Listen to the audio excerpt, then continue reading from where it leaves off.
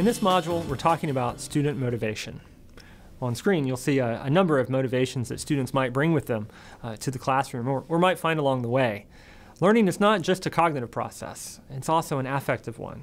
Uh, the motivations that students have or find uh, will, uh, in a large way, determine their success in our, in our STEM programs. And so, as instructors, it's important that we attend to student motivation and do what we can to kind of foster the motivations that will lead to students uh, being successful.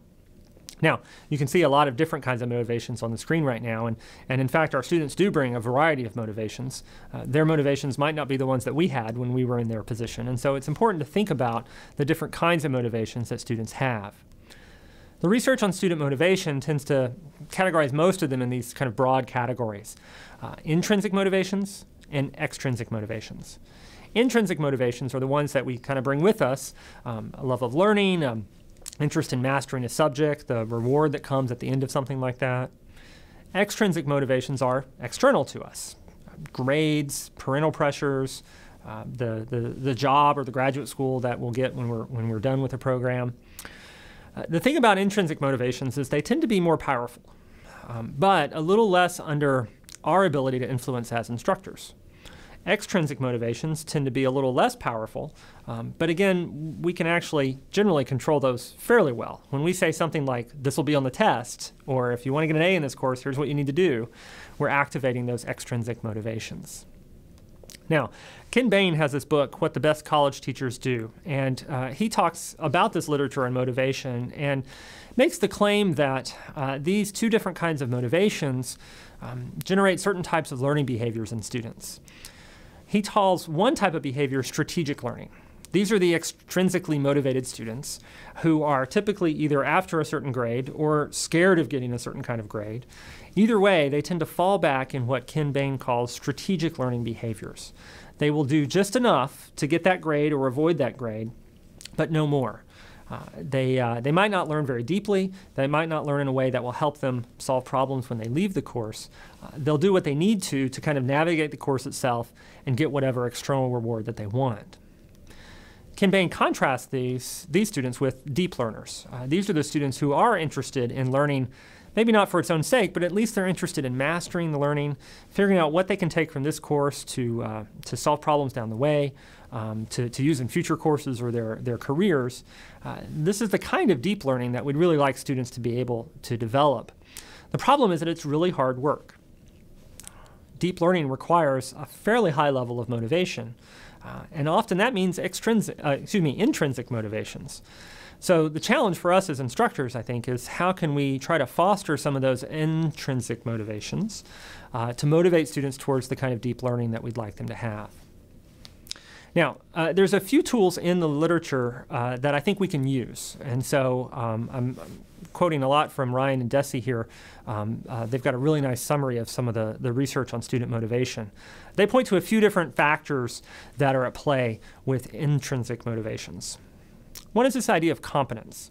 So uh, the visual here is of, uh, of a, a, puzzle, and um, I have a young daughter, and, and uh, she's kind of attuned to the size of a puzzle piece in a box of a puzzle that she might get, and how many pieces there are in that. If there's too few pieces, and if the pieces are too big, it's not very interesting to her anymore. But if there's too many pieces or the pieces are too small, it's a little too challenging for her, and she doesn't want to do that either. She's looking for something that's kind of just right. And that's the idea behind competence. We're motivated when we're engaging in tasks that are hard but not too hard. If it's too hard, we disengage, we get frustrated. If it's too easy, it's not interesting enough. And so this is one piece of the puzzle, I think, so to speak, that, uh, that we can use to try to uh, structure some more motivation in students. There's also the idea of autonomy. Um, this again is a photo from my, my kids.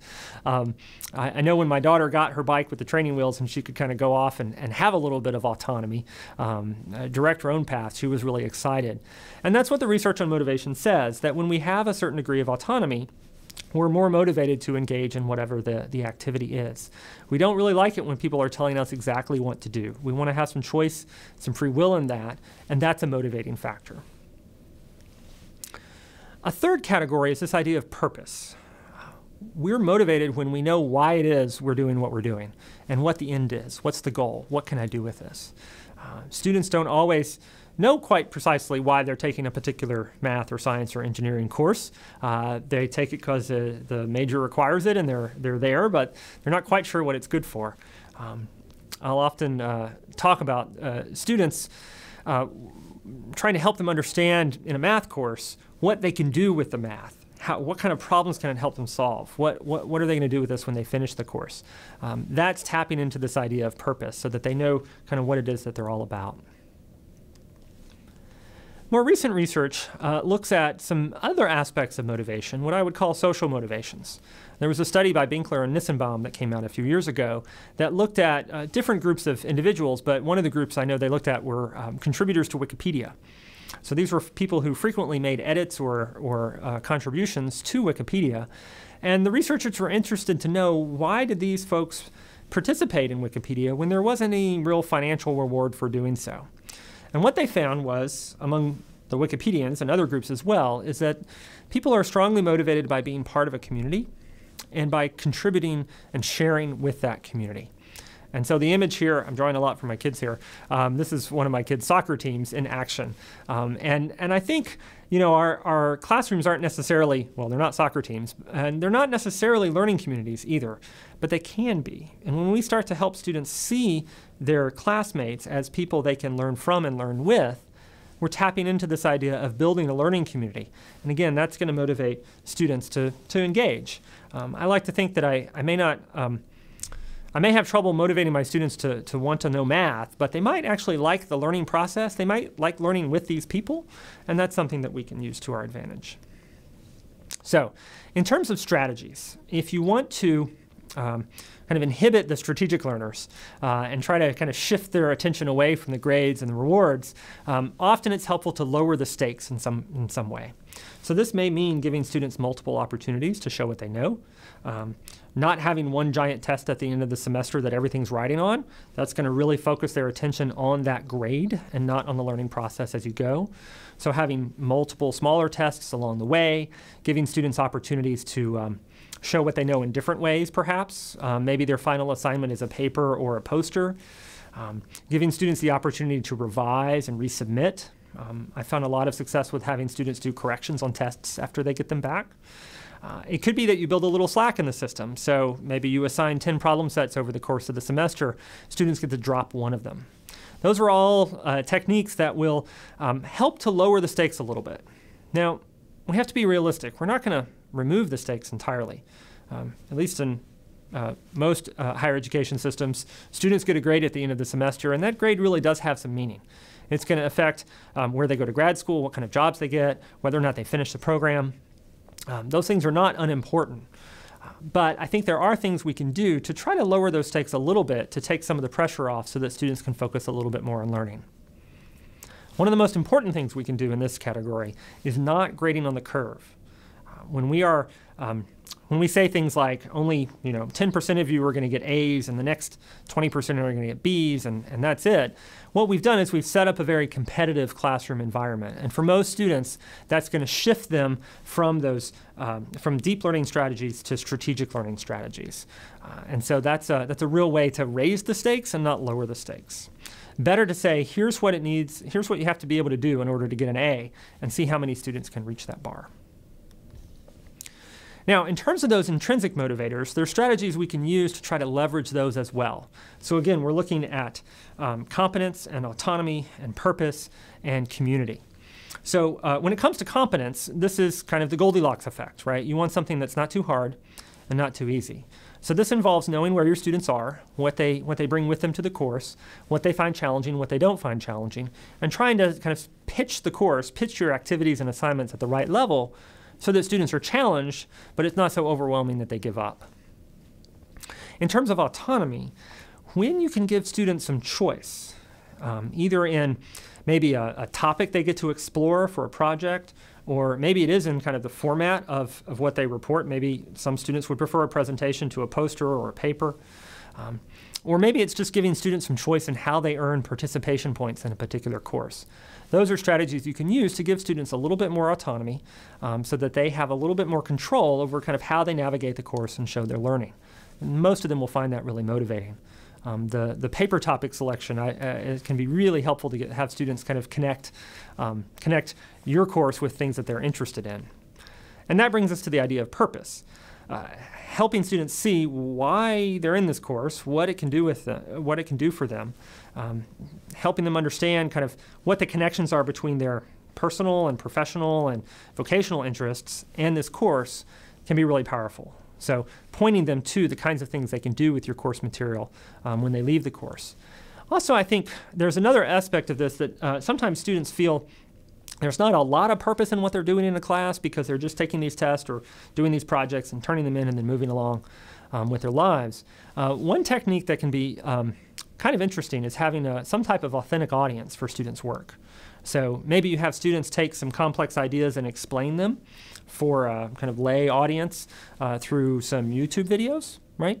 Um, that can be a really challenging process for students, but knowing that they're going to share their results with a, a, real audience out there in the World Wide Web uh, can be really motivating, and they can take the, the work very seriously. Or maybe um, uh, uh, you engage your students in some type of service learning project where they're applying the skills that they're learning in your course for um, community organizations that, that, that need different types of assistance or help, um, and that the service is valuable to them, but also a really good learning experience for your students. Um, maybe it's just having an external client for a project, right? This is a, a, fairly common strategy in engineering courses, particularly senior design courses, having students do work for external clients that are really interested in what they have to come up with. All of that can increase the level of purpose in the assignments in your courses that you give students. Finally, there's this idea of community um, and trying to create a learning community among your students. Again, it's not necessarily going to happen, actually. Just because you've got a bunch of people in the room doesn't mean that they form a learning community. Um, you've got to do what you can to help them get to know each other, um, give them opportunities to share what they know with each other, um, to, to share their own interests with each other, so that they can start to see that they can, in fact, learn from each other. So I'm going to end with one example from my own classroom practice that I think illustrates at least a few of these principles. And it's an activity I've done in a couple of different courses um, that I would, I would call social bookmarking. And so um, I started in, in my cryptography course a couple of years ago doing this. Um, I found that students were coming to this course with lots of different interests in the course. Some of them liked the codes and the ciphers, some of them liked the puzzle solving, some of them liked the mathematics, some of them liked the history and the espionage aspects of cryptography. Others were interested in kind of modern day computer security and encryption technologies. And so what I had them do was I had them use this kind of shared site where they were bookmarking, kind of saving links to uh, news articles and websites and resources that they had found that appealed to them. And I think this was this worked really well for this course in part because the students were fairly well motivated already, right? They, they were they this was a small course. They had a lot of options for this this course, and and so they they all had some kind of interest in cryptography. But since they were connecting their individual interests with resources that they shared with the entire course, both online and during class. We would take a fair amount of class time each week and pull up some of these um, examples and stories and, and, and, and discuss them as a class. I think they started to see each other as people they can learn from, right? That we were kind of in this together, um, learning together, um, sharing what we were finding out with each other. And, and, so I think that's pretty powerful. Um, I tried this again in my statistics course. That was a very different course. I had 70 students who um, largely were taking it because it was a required course. Um, in that case, I wanted them to start to see the relevance of statistics to um, things that they were interested in, to their careers, to their majors. And so I, I, had them find different types of resources, but I still wanted them to, to go and find examples of statistics in action and share that back with the class. And that worked reasonably well. Not quite as well as with the cryptography students. Um, but I think in all of these cases, um, I'm giving them a task that's actually not too hard. It may be a, a little too easy on the on the uh, competence scale. Actually, it's a pretty pretty low barrier to entry to find a website with something interesting and share it with your classmates. Um, but it's certainly tapped into the kind of autonomy and purpose ideas. Um, students could kind of go in lots of different directions with this, find different types of resources or different topics. And I encourage them to try to tap into things that they were already interested in so they could start seeing the connections between our course material and those interests. And I think it also served to help create this learning community feel, where students saw that they could actually learn from each other and build on um, the resources and examples that their peers shared. Now, this isn't the only way to uh, foster student motivation. And so, in the videos that follow, you'll see some interviews with faculty in a few different fields talking about the teaching strategies they've used and found successful in motivating students. As you listen to these interviews, look for these four ideas competency, autonomy, purpose, and community and see how the teaching choices that these faculty made tapped into these ideas to leverage student motivation.